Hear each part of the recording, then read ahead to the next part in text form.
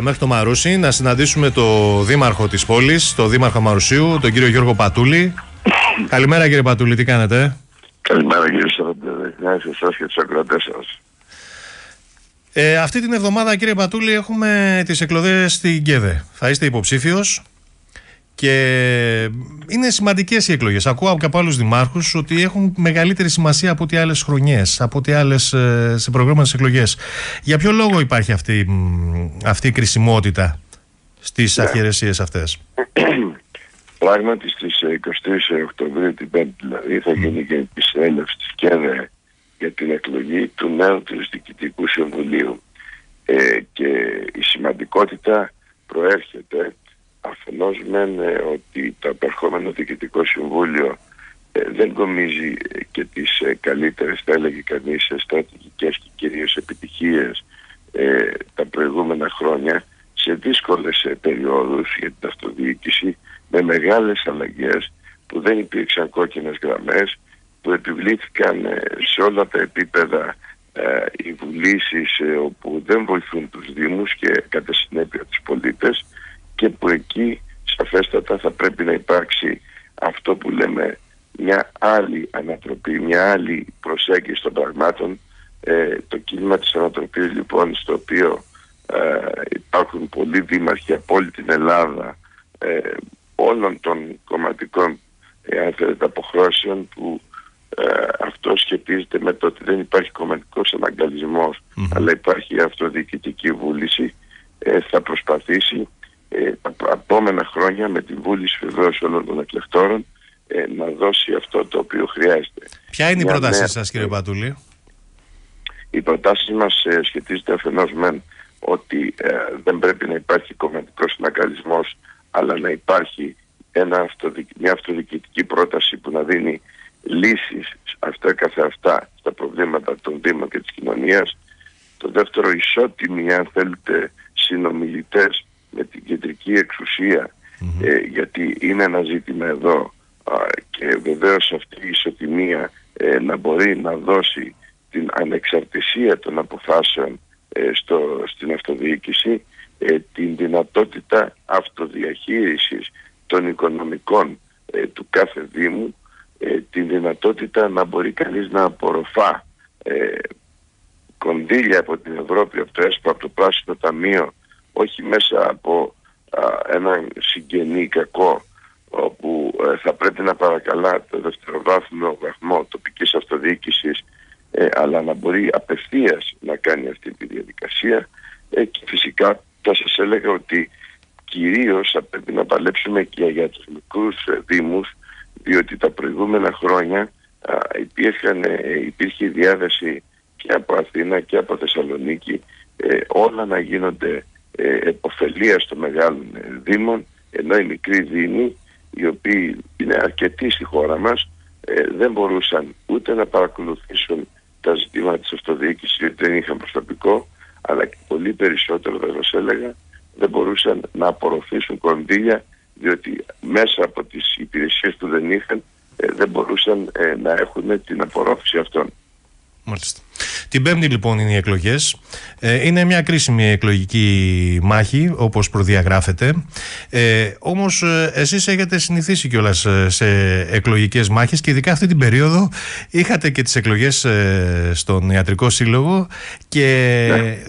μπαράζ εκλογικών μαχών, κύριε Πατούλη. Δύο πετυχημένες οι προηγούμενε. Μία για το Δήμο του Αμαρουσίου, όπου εκλεγήκατε με πολύ υψηλό ποσοστό. Η δεύτερη στον Ιατρικό Σύλλογο Αθηνών έχετε πάρει το κολλάι που λέτε. Κοιτάξτε, ε, πράγματι αυτή η περίοδος ε, ε, ήταν γεμάτη από εκλογικές διαδικασίες, ε, σημαντικές όλες. η ετοιμιγωρία του κόσμου μας έδωσε τη δυνατότητα να παλεύουμε για αυτά τα οποία πιστεύουμε όχι εμείς, όλοι μας και σίγουρα την Πέμπτη, όπως σας είπα και προηγουμένως, ο στόχος είναι ένα. Η αυτοδιοίκηση να αποκτήσει τη δυνατότητα να παράγει έργο αυτοδιοικητικό για τους Δήμους και βεβαίως να υπάρξει επιτέλους και η αξιοπρέπεια για τους αυτοδιοικητικούς όπου και αυτοί έχουν προδοληθεί κατά, κατ' επανάληψη αδίκως ή μπορεί να υπήρξαν και λόγοι που θα έπρεπε να συμβεί όμως θα σας έλεγα ότι οι περισσότεροι που συμμετέχουν στην αυτοδιοίκηση ε, είναι άνθρωποι της ίδιας κοινωνίας που τους επιλέγει η κοινωνία τους και που ε, σε αυτή την προσπάθεια, σε αυτή τη δύσκολη προσπάθεια έχουν βάλει τα δυνατά τους και για να λύσουν προβλήματα όπως ας πούμε σχετίζονται ε, με την ε, παινία ή με τους ανθρώπους ανασφάλιστους, ε, τους ανθρώπους οι οποίοι δεν μπορούν ή δεν μπορούν να ζήσουν και που εκεί η αυτοδιοίκηση χωρίς να έχει τους πόρους έχει τη διάθεση και δίνει λύσεις αλλά και που όπως είπατε ε, ο στόχος και στον Ιατρικό Σύλλογο Αθηνών ε, που έγιναν οι εκλογές αλλά κυρίως στη ΣΚΕΔΕ είναι να δημιουργήσει εθνικά ζητήματα. Δηλαδή δεν είναι δυνατόν σήμερα 50 αγροτικά ιατρία στις παραμεθόριες νησιωτικές περιοχές του Αιγαίου να μην έχουν γιατρό και η ΚΕΔΕ να κοιμάται. Δεν είναι δυνατόν να μην έχει δημιουργήσει εθνικό ζήτημα του τι πρέπει να γίνει ώστε ο κάθε κάτοικος αυτής ε, της χώρας να έχει τουλάχιστον το γιατρό του. Είναι ζητήματα λοιπόν που μπορεί κανείς να τα αναδείξει, μπορεί να τα πιέσει και πολύ περισσότερο τελικά να τα λύσει ώστε να προχωρήσουμε στην επόμενη εποχή, στην εποχή του μέλλοντος που τα περισσότερα θα είναι καλύτερα και που μέσα από αυτά θα έχουμε συμβάλει όλοι για να συμβούν. Ελπίζω να βρεθεί γιατριά. Γιατρός είστε εσείς, ε, ξέρετε περισσότερα. Αλλά ε, θα ήθελα, Δήμαρχε, να πούμε και δύο πράγματα για το θέμα με τον έμπολα, όπου ναι. υπάρχει ανησυχία. Νομίζω ότι η ανησυχία αυτή αρχίζει και εκδηλώνεται και στην Ελλάδα. Αν και δεν έχουμε κάποιο ύποπτο κρούσμα, μέχρι στιγμής πάμε πολύ καλά. Αλλά πρέπει οπωσδήποτε να είμαστε θωρακισμένοι, να, να είμαστε σε μια εγρήγορση για να μην έχουμε δυσάρεστα θέματα στη συνέχεια. Είναι αλήθεια, κοιτάξτε, η προετοιμασία κατά κύριο λόγο ε, πρέπει να προέρχεται από τις ε, ίδιες ε, τις ε, κρατικές υπηρεσίες.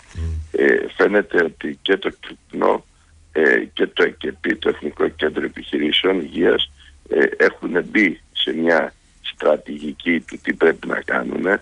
υπάρχουν οι γνώσεις οι διεθνείς, οι οποίες φαίνεται ότι προσπαθούν τουλάχιστον να τις κάνουν πράξη.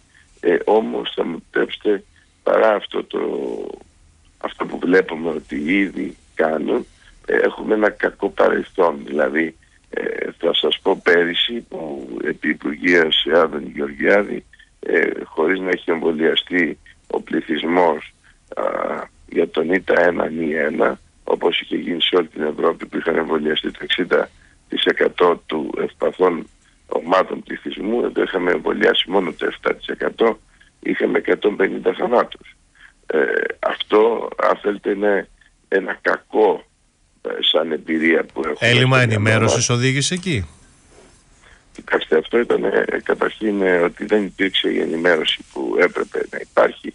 Σε πολλές περιπτώσεις δεν υπήρχαν εμβόλια ώστε να γίνουν την κατάλληλη στιγμή γιατί ο εμβολιασμός ε, σε ένα δεν γίνεται ε, όποτε νομίζουμε εμείς ναι. ή όταν δεν γνωρίζουμε γίνεται συγκεκριμένη ναι. περίοδο και έχεις προτρέψει τον πληθυσμό σου. Κύριε Δήμαρχε, εύχομαι καλή επιτυχία στις εκλογές, ε, όλα να πάνε καλά, καλή επιτυχία στη Κεντρική Ένωση Δήμων και Κοινοτήτων ε, ε, για να είμαστε πιο ακριβείς. ελπίζω να τα ξαναπούμε και να τα πούμε για ευχάριστα θέματα, θέματα τα οποία ναι, θα, θα προάγουν ακόμη περισσότερο την τοπική αυτοδιοίκηση και να πάνε όλα καλά.